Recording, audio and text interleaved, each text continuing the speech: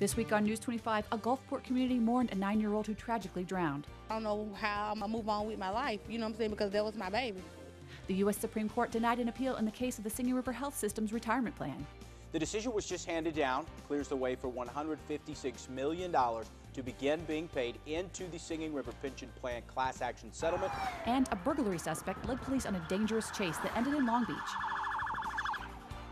News 25, your local choice.